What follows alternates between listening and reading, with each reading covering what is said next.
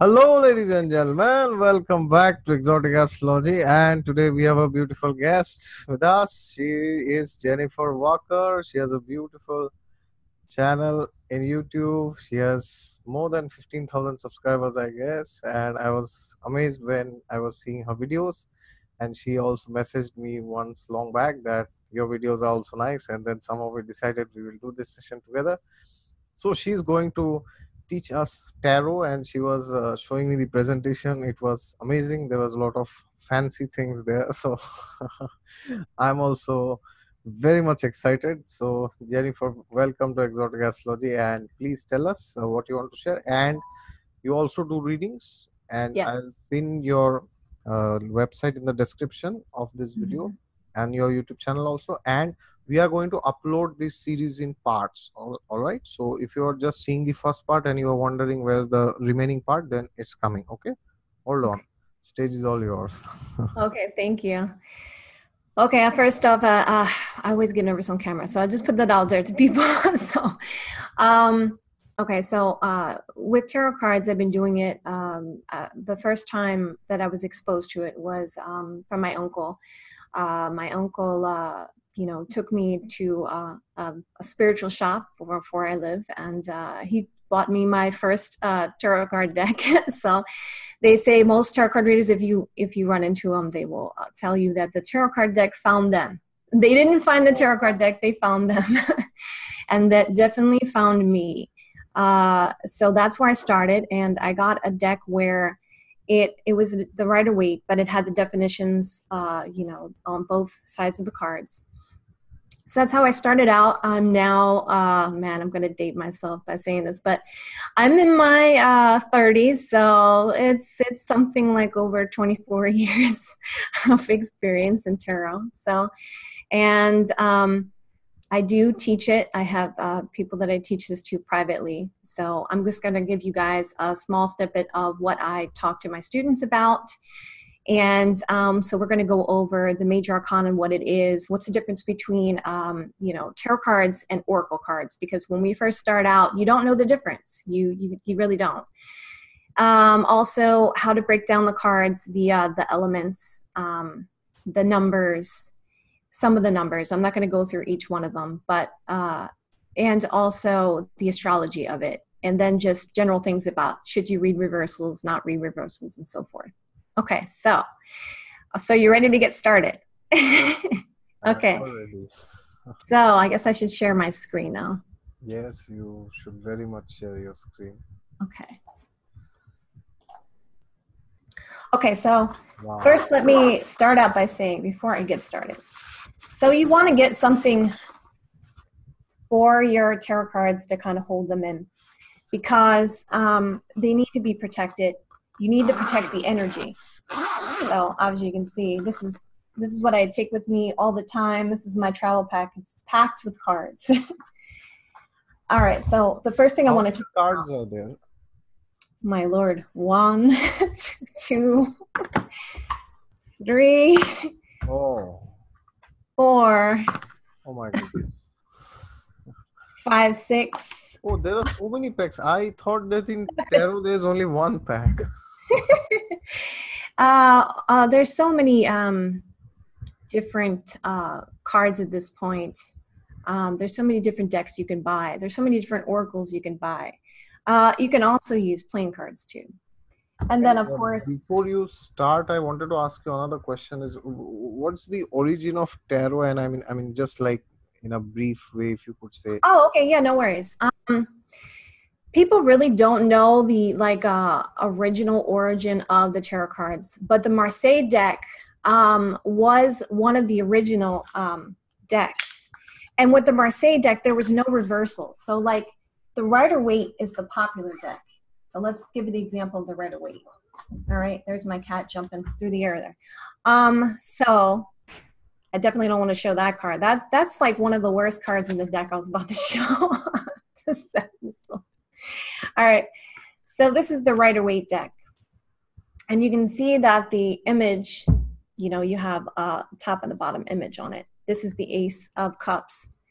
But in the Marseille deck, it's more like I don't have the Marseille deck with with me at this moment, so we'll just use a deck of cards. So the Marseille deck is more like that. You know, there's no difference between top and bottom. You see, it's like a deck of cards. It doesn't matter which way you turn it; it's going to be the same. Okay. Okay. So, but the most popular deck is the Rider Waite deck, which is the deck that I'm going to be talking about today. It's the most widely used deck. It has pictures on it. Um, there's great books on it, and most of the decks today are based on the Rider Waite. So, pretty much that's that's pretty much the uh, golden standard at this point. Um, so let me show you what an oracle deck looks like, since there's a difference. So there's 78 cards in the tarot, all right? There's 44 cards in the oracle. And what's the difference between the oracle and the tarot? Well, the oracle, this is a romance angels oracle. It has words on there, right? It has words on there and it just gives you uh, general definitions. There's no like things to interpret. It's just straight up, straightforward. So this is why the oracles work because it's more about the person than it is about the deck itself. This is why in my classes I stress um, raising your intuition, doing meditation, daily meditation, connecting with the elements, and so forth because you could be on a desert island. Someone, one of my teachers told me once, What happens if you're on a desert island and you don't have any of your tools? What are you going to do? it's you, it's all within you. Everyone can do this. It's just practice and it's all within you. So if you want to be an accurate tarot card reader, you literally just have to really meditate and you have to be dedicated to it and you have to improve your intuition. That is the most important thing, most important. Because um, that's why the oracle works. You know, there's no symbolism on the oracle. It's just straight up. The reason why the oracle works, the reason why the tarot card deck works is because of you. Okay, so let's jump right in. All right, so as you can see, you have the major arcana. I'll just read off what each card is. So this is the Rider Waite deck. This is the Rider Waite deck for the major arcana. So what is the major arcana? The major arcana is universe way of saying to you, this is beyond your control. So if you have uh, one of these cards next to, uh, let's just say, like the Ace of Cups, which is a minor arcana, this is like an everyday card, it's going to give it more significance. So we have the Fool card, right? So that's that's all about taking a leap of faith. And you have the magician. You have all the tools that you need to move forward. You have the high priestess. I'm just going to briefly go over each one. Sorry. You have the high priestess. This is using your intuition. You have the empress. Pretty much, she represents the planet Venus. She is love, abundance. Then you have the emperor. He's Aries, basically. Think about Aries in astrology. He's in control. You know, he has the willpower. He's, you know, structured. You have the Hierophant. This is about traditions and marriage and so forth. And then you have the lovers this is about some people believe you know when you do a love reading it's a twin flame kind of card. It's definitely about love. It's a choice in love. The chariot. Uh, as you can see the one person there and you have two uh, sphinxes i guess that's what they're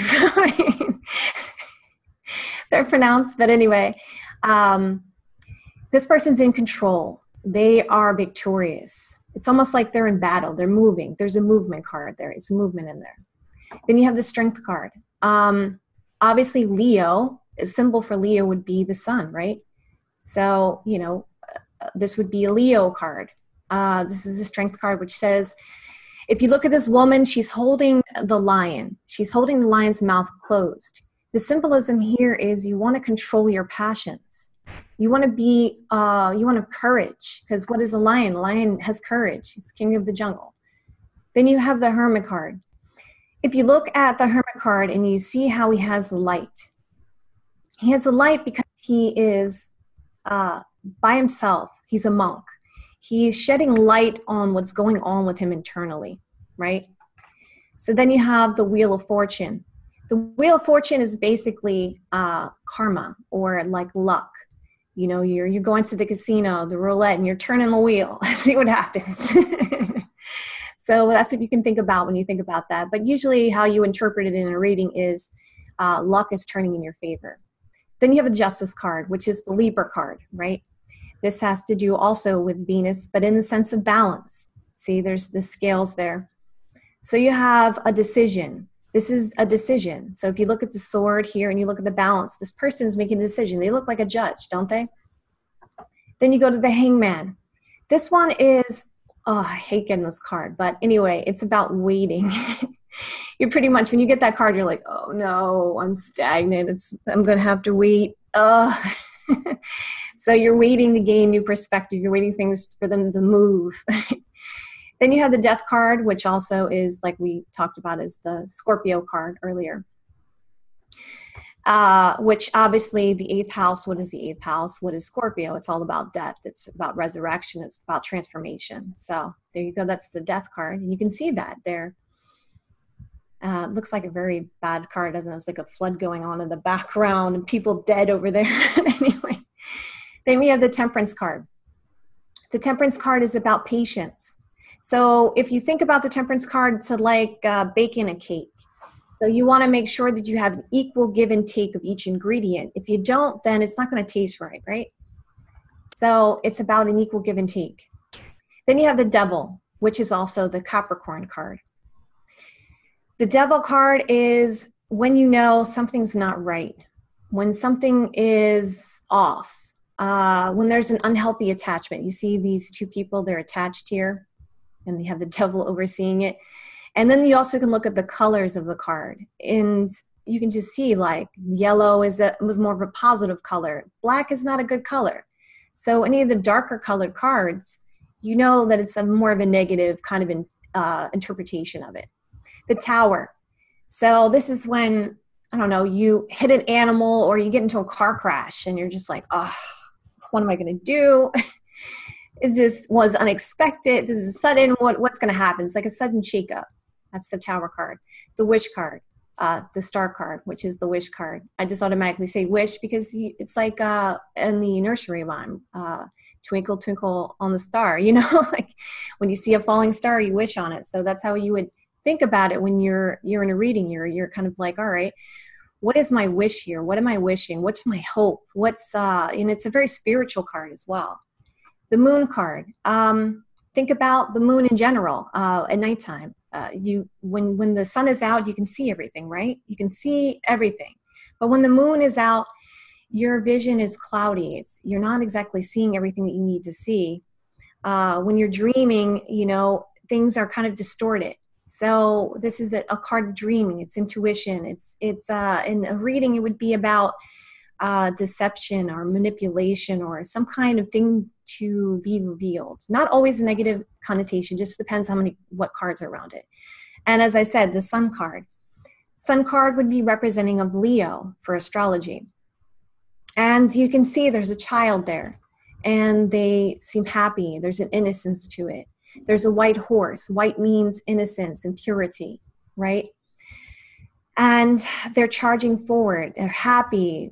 There's an innocence. It, this is one of the best cards you can get in the deck. One of the best cards you can get because it's saying to you basically the universe is on your side that everything's all going to work out.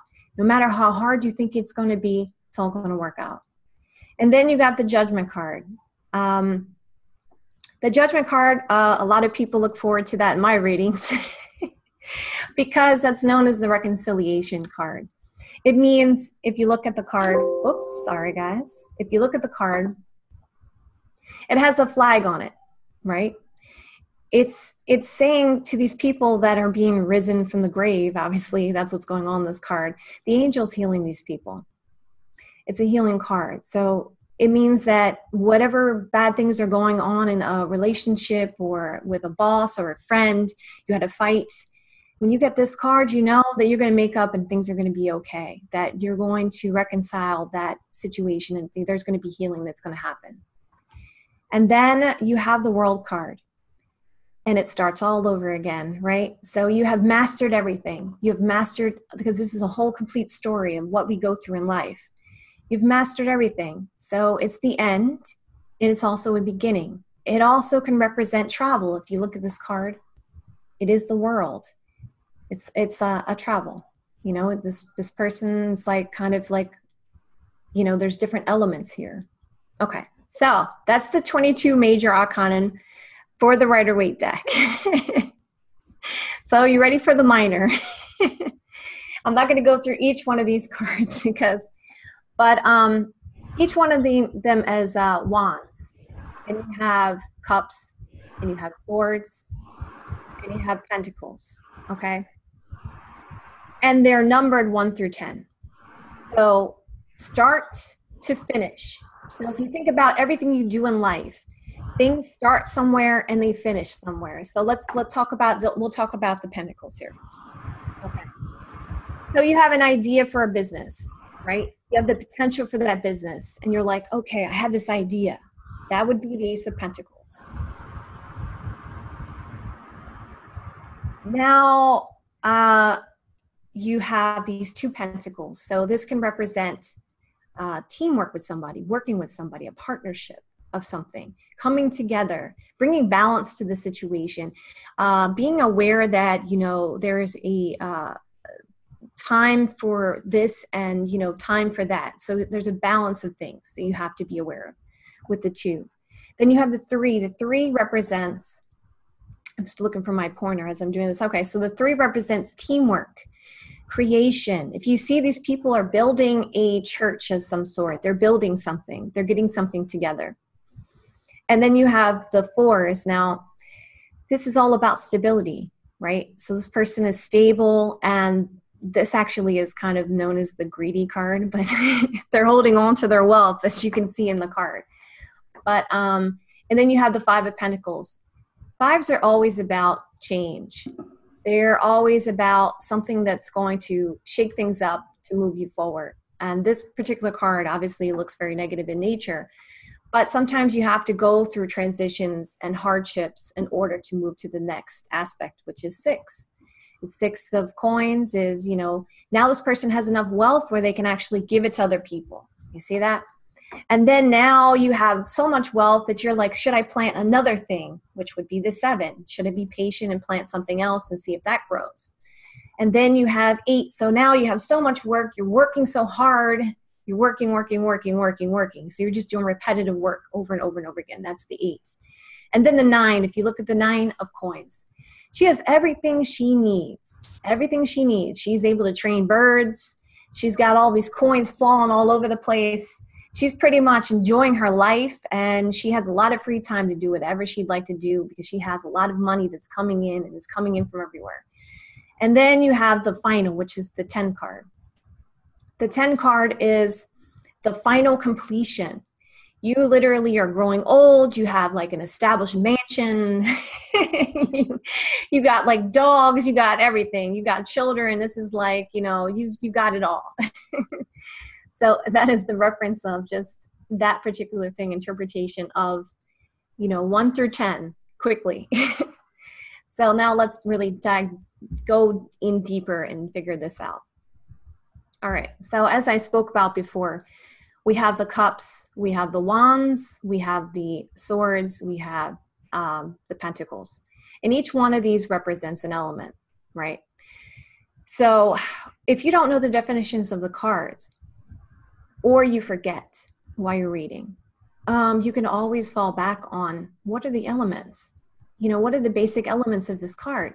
So if I get a cups, I don't care if it's, um, let's just use an example here if I can find one real quick.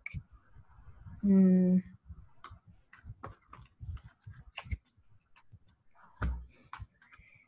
Uh, obviously, here's the five of cups. I don't know if you can see that. Can you see that okay? If I hold it up a little closer, can you see it now? Okay. So, Five of Cups. What do you think this person, let's just ask you, since you're my volunteer here, what do you think is going on in this card? If I tell you this is about emotions, this is about water, this is about. What do you think is going on in this card? What's your thoughts?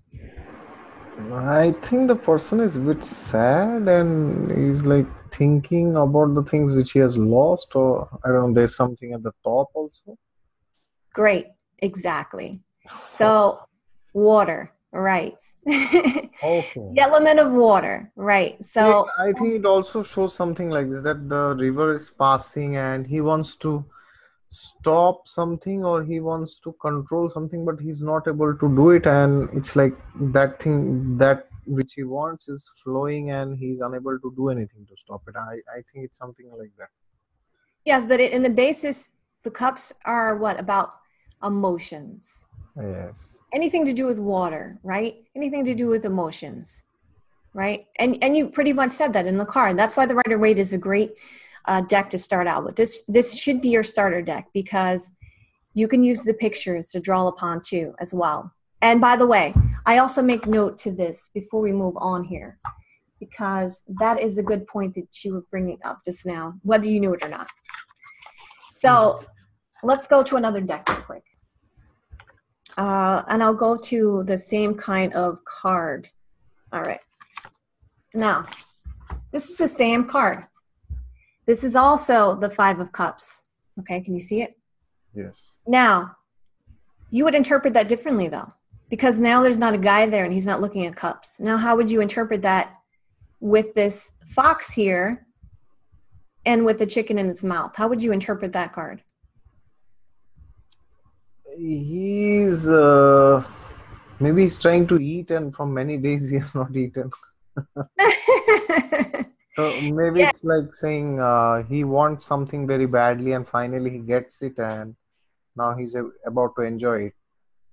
Good, good, good. Exactly. So the first thing you should also remember, if you change your deck and you're not using the Rider Waite or using another deck, if the picture changes, the definition changes. Okay. If the picture changes, the definition, it will affect the definition of the card. So you want to go by what the picture is saying because the universe is speaking to you. The universe is always speaking in symbolism. You always have to remember that. So even though this may say five of cups, the picture on the card is not kind of saying that, is it? It's saying that there's some kind of sacrifices being made right now with this this wolf and this this uh, chicken, right? So that happens sometimes if you switch up decks. So you have to be aware of that. And uh, that is something to keep in mind too when you change up decks. Okay, so, and I wish I would have known that years and years and years and years and years when I first started. so, anyway, okay, so let's get into what the water is. So, let me see if I can move this out the way here from myself. All right. So, whenever you think of water, the key word is feel. All right, the water element is feel. The cups element, the cups. Whenever you think of that, you're thinking of water. That is the element of this. But the element of this means feel, emotions, intuition, love, sadness, relationships, healing, uh, a receptive female energy. Um, so that will help you a lot too. Because uh, anything to do with water, you know, anything that you can think of to do with water, water is always emotions, it's feelings you know it's very feminine it's very receptive and it, and it does have a lot to do with relationships Mo- mostly all the cup cards are to do with relationships so just to keep that in mind. Okay so the next one is fire. And fire which is the wands card. This is the wands card we're looking at. By the way this is the ace of wands. The key word for this to remember to jog your memory is passions. Passions desire sexuality, uh, movement, willpower, creative force, forcefulness, male. So basically, both water and fire are basically the fundamental elements of a male and a female, if you think about it, right? Males are more masculine, they, you know, forceful, they, they're, you know, the uh, the masculine energy is so much different from the female energy, right? The female energy is gentle, is nurturing, is uh not that males can't be that way either but i'm just saying that the, the aspects of them you know the the fundamental the primordial aspects of male and female is what you want to keep in mind. The primordial aspects of them. What does it mean to be female? What does it mean to be a male? This will also help when you read cards. This will help you okay so then the next would be air so air they say is like if you look at the tip of the sword you have this edge and you have this edge. So it's a combination of both fire and water, fire and water, which makes air. and air, of course, I feel is more of a, uh, as far as sex goes, is more of a neutral kind of sex. A sex. Um, so, like you know how you have the planets, and you have Mars is is a male planet, and then you have Venus is a female planet. So, so you know, you have Mercury, which is neutral. So, air, which is Mercury, is neutral. So, air has everything to do with mental thoughts and attitudes and intellect and judgment. And so, if you get this card in a relationship reading, it's going to say, okay, this person's thinking with their head and not with their heart. So, if you get anything to do with swords, the sword suits.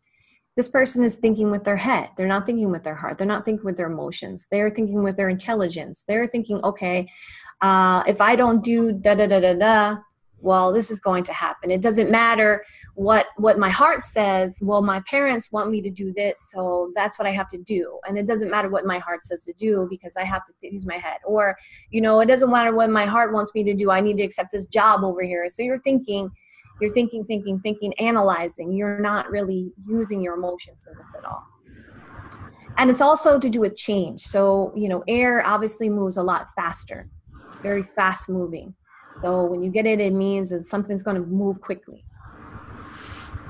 Okay, so then we have, did I, yeah, okay, earth. so what is earth? Earth element is when you go outside, you, you, you stand on the ground, it's solid, right? It, it's tangible, you can touch it. So whenever you see these coins, whenever you get the pentacles, regardless of any deck, you know it's going to be something tangible that you can touch. So, for instance, if you use this card here, which is the Ace of Pentacles, it means it's first one, right? One. So it's some potential, potential tangible thing we can touch, a potential tangible thing we can grasp onto. Stable. It's uh, a manifestation. So you're going from all the elements to manifest to the earth element. So you're going from water, then fire, then air, then finally all the elements come together for earth. And that's what makes it stable. That's what makes it tangible.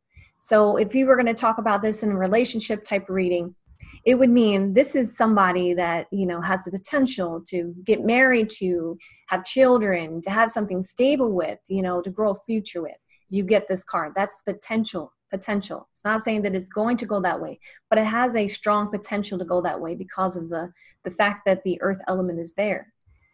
And if it's for, let's say, uh, if you wanted to do a business reading on this, and you said, okay, you got uh, you got the earth element, then it's saying, you know, this definitely has potential to make money. This is a potential to grow. This is potential for something really great. Whereas if you got like uh, the cups, which is a water element, well, you know, think about water. It kind of you can't it pours out of your hand, it drips out. It's it's not tangible. It's you can't hold on to it. It you know it evaporates. It um so for if, if you got that for uh, let's say for for something dealing with your finances well that wouldn't be a good thing it, it just means that well i'll emotionally feel great but it's not saying that it's going to go into anything tangible that's going to be able to make you money right? And it's also fertile. So think about the earth, the earth in general. Just when whenever you think about the elements or you think about the cards, you want to connect it to yourself and on the outside. So like what fire really is, it's hot. You know, um, what water is and how water works, the properties of water. Um, and then the same thing with earth, how the properties of earth are. Bring it all back to everything is uh, all the same. Everything. Everything is interconnected. If you realize everything is interconnected, this will help you with with any kind of divination that you do. Okay, so um so let's say do you uh, want to go into the numbers now um and start to just go through each one through 10 you think that would yeah, be we can uh, do this in the next session. Okay. Okay so thank you everyone for your patience and we'll see each other very soon okay? We'll absolutely. Thank you so much. all right. Thank you